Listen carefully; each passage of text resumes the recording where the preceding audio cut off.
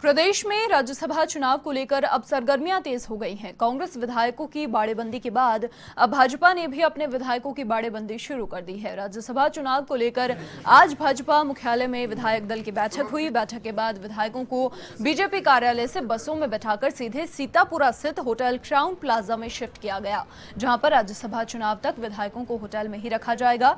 विधायक दल की बैठक में पूर्व मुख्यमंत्री वसुंधरा राजे सहित करीब एक दर्जन भाजपा विधायक और दो आरएलपी के विधायक शामिल नहीं हुए। आपको ये भी बता दें कि बीजेपी के पास दूसरी सीट के लिए पर्याप्त संख्या बल नहीं है। वहीं नेता प्रतिपक्ष गुलाब चंद कटारिया ने कहा कि बाड़ेबंदी कांग्रेस कर रही है। बीजेपी का तो ये चिंतन शिविर है। कोरोना महामारी और संगठन के कार्यों को लेकर चर्चा करेंगे।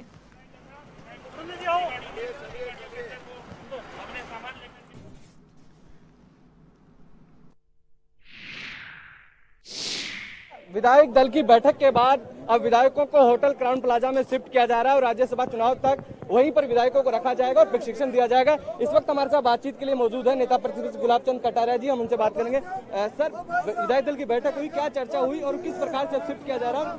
क्या कुछ प्रशिक्षण दिया जाएगा इस तीन दिन के? दो दिन का सदुपयोग करेंगे। पार्टी के सभी लोग जो नए और पुराने उनको वोट डालने का भी प्रशिक्षण देंगे। पार्टी की रीति नीतियाँ भी समझाने का प्रयास करेंगे और कोरोना की महामारी के समय में जो सेवाएँ की है उसका रिपोर्ट भी लेंगे और आगे और करने के लिए। क्या कारण है कि सेंधमारी का डर था? इस वजह से शिफ्ट किया जा रहा है। ज़िंदगी में सवाल ही नहीं पैदा हुआ इतने दिन पहले सोलह तारीख घोषित की तो कहा कि सेंध मारी और एक आखिरी सवाल मेरा आपसे कि जिस प्रकार से आज काफ़ी विधायक दल की बैठक बुलाई गई थी लेकिन अट्ठावन विधायक ही बैठक में पहुँचे आरएलपी के भी दो बैठक नहीं बैठक में नहीं मेरे हिसाब से केवल छह सात लोग नहीं आए उनमें से सबसे मेरी बात हुई वसुंधरा जी देर से आएगी। हमारे जो हैं कैलाश जी, वो कहा, मेरी इस उम्र में, मुझे, मैं आपको निश्चित आऊँगा प्रताप सिंह जी को हमने यहाँ आने के बाद भी बीमार, थोड़ी तबीयत ठीक नहीं है तो इसलिए हमने उनको यहाँ छोड़ा।